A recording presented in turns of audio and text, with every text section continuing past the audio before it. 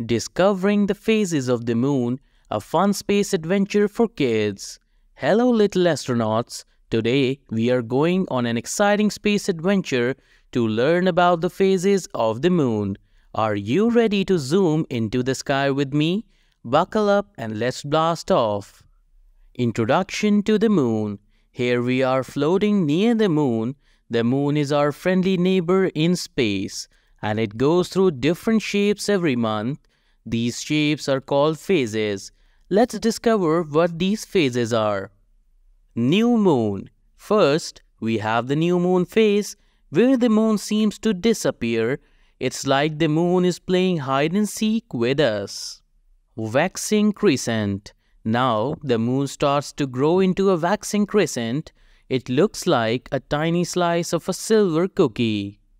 First quarter. Next up is the first quarter phase, where half of the moon is visible. It's like a half cookie now. Waxing gibbous. Then the moon grows a bit more into a waxing gibbous phase. It's almost a full cookie, I mean a full moon. Full moon. Yay, now we have a full moon. It's a big bright circle in the sky. Waning gibbous. But the moon starts to shrink into a waning gibbous phase. It's like someone took a small bite from our full cookie. Last quarter, then it turns into a last quarter, where again half of the moon is visible, but the other half this time. Waning crescent. Lastly, it becomes a tiny slice again, called a waning crescent before it goes back to being a new moon. Our space adventure has come to an end.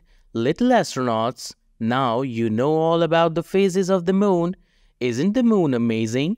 Don't forget to look up at the sky tonight and see if you can spot the phase of the moon until our next adventure. Bye bye. If you had fun learning about the moon, don't forget to hit the like button, share this video with your friends and subscribe to our channel for more exciting space adventures.